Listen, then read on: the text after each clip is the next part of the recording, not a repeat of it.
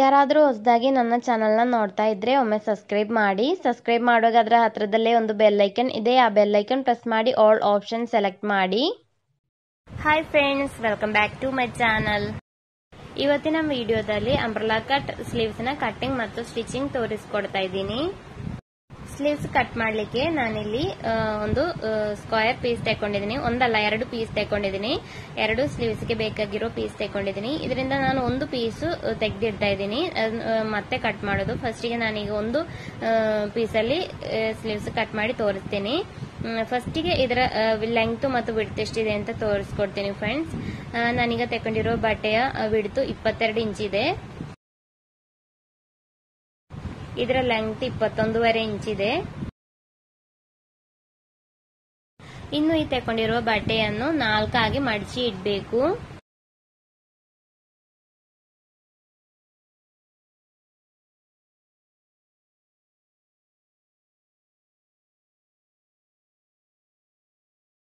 ಈ ತರ ನಾಲ್ಕಾಗಿ ಮಡಚಿ ಇಟ್ಟ ನಂತರ ನಮಗೆ ಸ್ಲೀವ್ಸ್ನ ಲೆಂತ್ ಎಷ್ಟು ಬೇಕೋ ಅದನ್ನು ಮಾರ್ಕ್ ಮಾಡಬೇಕು. ಟ್ಯಾಪ್ ಅನ್ನು ಈ ತರ ಇಟ್ಟು ನಿಮಗೆ ಎಷ್ಟು ಲೆಂಗ್ತ್ ಬೇಕು ಅದು ಮಾರ್ಕ್ ಮಾಡ್ಕೊಳ್ಳಿ. ನಾನೀಗ ಸ್ಲೀವ್ಸ್ ಲೆಂತ್ ಹತ್ತು ಇಂಚು ಮಾರ್ಕ್ ಮಾಡ್ತಾ ಇದ್ದೀನಿ.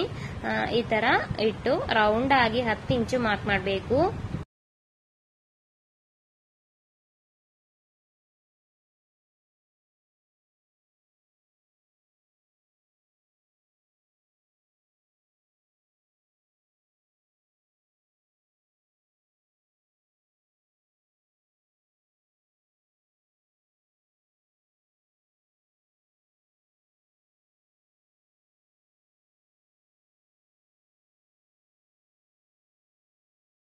ಈ ತರ ರೌಂಡ್ ಆಗಿ ಕರೆಕ್ಟ್ ಆಗಿ ಮಾರ್ಕ್ ಮಾಡಿದ ನಂತರ ಇದನ್ನು ಕಟ್ ಮಾಡಬೇಕು.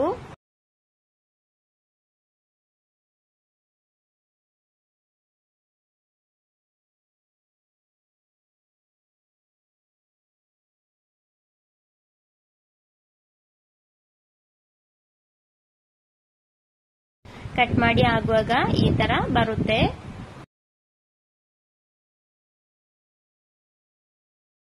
ಇನ್ನು ಇದನ್ನ ನಾಲ್ಕಾಗಿ ಮಾಡಿಸಿದ ನಂತರ ಕರೆಕ್ಟ್ ಸೆಂಟರ್ ಮಾರ್ಕ್ ಮಾಡಬೇಕು. ನಾನೀಗ ಕರೆಕ್ಟ್ ಆಗಿ ನಾಲ್ಕಾಗಿ ಮಾಡಿಸಿದ ನಂತರ ಸೆಂಟರ್ ಮಾರ್ಕ್ ಮಾಡ್ತಾ ಇದ್ದೀನಿ. ಈ ತರ ಚೌಕ್ ಯೂಸ್ ಮಾಡಿ ಮಾರ್ಕ್ ಮಾಡ್ತಾ ಇದ್ದೀನಿ.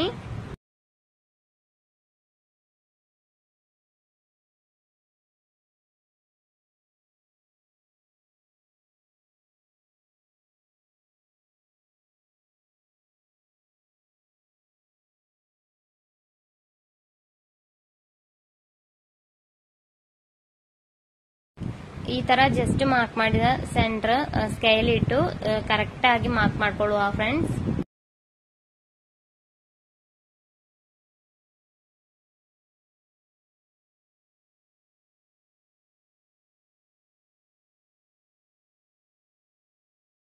ಇನ್ನಿದ್ರಲ್ಲಿ ಆರ್ಮೋಲ್ ರೌಂಡ್ ಮಾರ್ಕ್ ಮಾಡಬೇಕು. ಈಗ ನಾನು ಕಟ್ ಮಾಡಿ ಇಟ್ಟಿರುವ ಬಾಡಿ ಪಾರ್ಟ್ ಅನ್ನು ತಕೊಂಡಿದ್ದೀನಿ ಈ ಬಾಡಿ ಪಾರ್ಟ್ನ ಅರ್ಧ ಇಂಚು ಫಸ್ಟ್ ಶೋಲ್ಡರ್ ಜಾಯಿಂಟ್ ಮಾಡ್ಲಿಕ್ಕೆ ಇರೋದನ್ನ ಬಿಟ್ಟ ನಂತರ ಆರ್ಮೋಲ್ ರೌಂಡ್ ಎಷ್ಟಿದೆ ಅಂತ ಈ ತರ ಟ್ಯಾಪ್ ಇಟ್ಟು ನೋಡ್ಬೇಕು. ಇಲ್ಲಿ ನನಗೆ ಹತ್ತು ಇಂಚು ಸಿಕ್ಕಿದೆ. ಹೊಲಿಗಂಶ ಕೂಡ ಆಡ್ ಮಾಡಿ ಹತ್ತು ಇಂಚು. ಶೋಲ್ಡರ್ ಜಾಯಿಂಟ್ ಮಾಡೋದು ತೆಗಿಬೇಡಿ. ಹತ್ತು ಇಂಚು ಸಿಕ್ಕಿದೆ. ಅದರ ಹಾಫ್ ಈ ತರ ಟ್ಯಾಪ್ ಇಟ್ಟು ಆಗ ಐದು ಇಂಚು ಸಿಗುತ್ತೆ. ಆ ಐದು ಇಂಚು ನಾವಿಲ್ಲಿ ಮಾರ್ಕ್ ಮಾಡಿದ ಈ ಸೆಂಟರ್ನಿಂದ ಒಂದ್ ಸೈಡಿಗೆ ಈ ತರ ಐದು ಇಂಚು ಮಾರ್ಕ್ ಮಾಡಬೇಕು. ಇನ್ನು ಈ ಐದು ಇಂಚಿನ ಹಾಫ್ ಆಗ ಎರಡೂವರೆ ಇಂಚು ಬರುತ್ತೆ. ಈ ತರ ಸೆಂಟರ್ ಅಲ್ಲಿ ಎರಡೂವರೆ ಇಂಚು ಮಾರ್ಕ್ ಮಾಡಬೇಕು. ನಂತರ ಈ ಎರಡೂವರೆ ಇಂಚಿನ ಈ ತರ ರೌಂಡ್ ಆಗಿ ಮಾರ್ಕ್ ಮಾಡ್ಕೊಳ್ಬೇಕು. ಎಲ್ಲಾ ಸೈಡಿಗೂ ಈ ತರ ಎರಡೂವರೆ ಇಂಚು ಮಾರ್ಕ್ ಮಾಡಬೇಕು. ಕರೆಕ್ಟ್ ಆಗಿ ನೋಡಿ ಫ್ರೆಂಡ್ಸ್ ನಿಮಗೆ ಗೊತ್ತಾಗುತ್ತೆ ಯಾವ ತರ ಅಂತ. ಇದೇ ತರ ಮಾರ್ಕ್ ಮಾಡ್ಕೊಂಡು ಹೋಗಿ.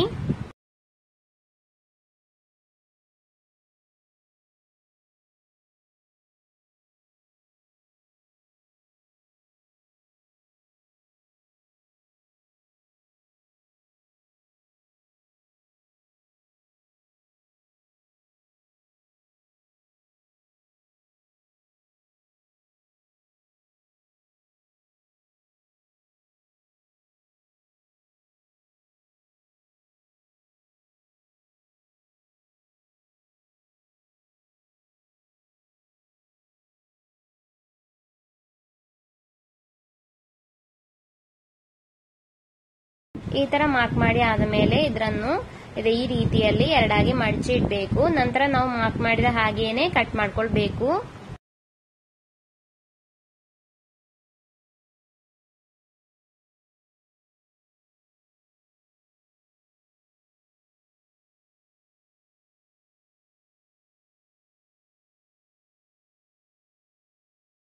ಕಟ್ ಮಾಡಿ ಆಗುವಾಗ ಈ ತರ ಬರುತ್ತೆ ಫ್ರೆಂಡ್ಸ್ ಈಗ ಇಲ್ಲಿ ಸ್ವಲ್ಪ ಕಟ್ ಮಾಡ್ಲಿಕ್ಕೆ ಬಾಕಿ ಇದೆ. ಅದು ನಾನು ಕರೆಕ್ಟ್ ಆಗಿ ಕಟ್ ಮಾಡ್ತಾ ಇದ್ದೀನಿ.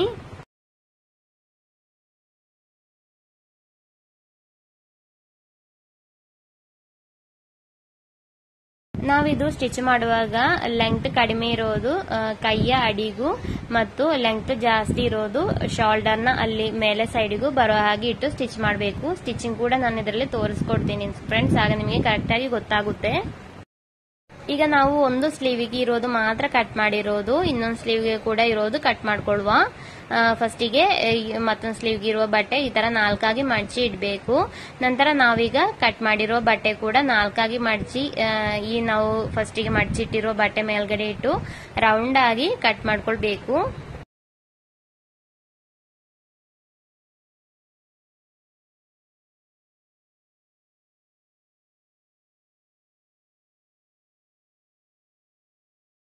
ಇನ್ನು ಈ ಪೀಸ್ನ ಮೇಲ್ಗಡೆ ನಾವು ಕಟ್ ಮಾಡಿರೋದನ್ನ ಇಟ್ಟು ಸೇಮ್ ಅಳತೆಯಲ್ಲೇ ಆರ್ಮ್ ಕಟ್ ಮಾಡ್ಕೊಳ್ಬೇಕು.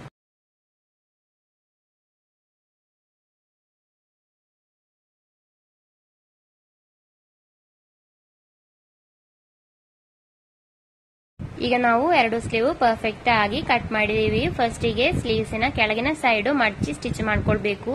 ಕಾಲಿಂಚು ಪ್ಲಸ್ ಕಾಲಿಂಚು ಮಡಚಿ ಸ್ಟಿಚ್ ಮಾಡಬಹುದು ಅಥವಾ ಓವರ್ಲಾಕ್ ಇದ್ರೆ ಓವರ್ಲಾಕ್ ಹಾಕಿ ಸ್ಟಿಚ್ ಮಾಡಬಹುದು ಇನ್ನು ಕುರ್ತಿಗೆ ಸ್ಲೀವ್ಸ್ ಅಟ್ಯಾಚ್ ಮಾಡ್ಕೊಳ್ಳುವ. ಶೋಲ್ಡರ್ನ ಸೆಂಟರ್ಗೆ ಸ್ಲೀವ್ಸ್ನ ಸೆಂಟರ್ ಲೆಂತ್ ಜಾಸ್ತಿ ಇರುವ ಸೈಡ್ ಇಟ್ಟು ಅರ್ಧ ಇಂಚು ಬಿಟ್ಟು ಸ್ಟಿಚ್ ಮಾಡ್ಕೊಳ್ಬೇಕು. ಈ ತರ ಇಟ್ಟು ಅರ್ಧ ಇಂಚು ಬಿಟ್ಟು ಸ್ಟಿಚ್ ಮಾಡ್ಕೊಳ್ಳಿ.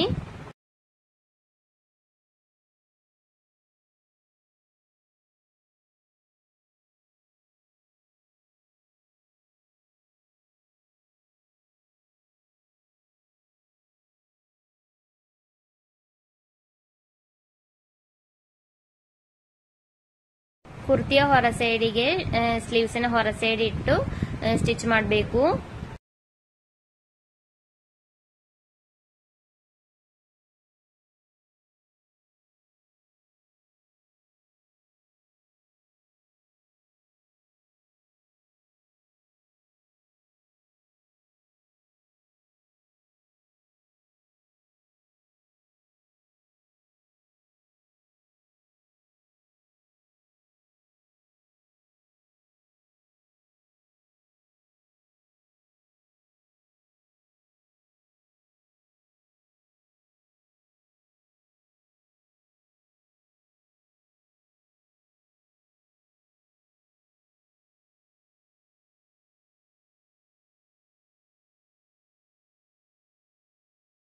ನಾನೀಗ ಈ ತರ ಸ್ಟಿಚ್ ಮಾಡಿ ತಕೊಂಡಿದ್ದೀನಿ ತುಂಬಾ ಚೆನ್ನಾಗಿ ಕಾಣಿಸುತ್ತೆ ಫ್ರೆಂಡ್ಸ್ ಈ ತರದ ಸ್ಲೀವ್ಸ್ ನೀವು ಕೂಡ ಒಮ್ಮೆ ಟ್ರೈ ಮಾಡಿ ನೋಡಿ.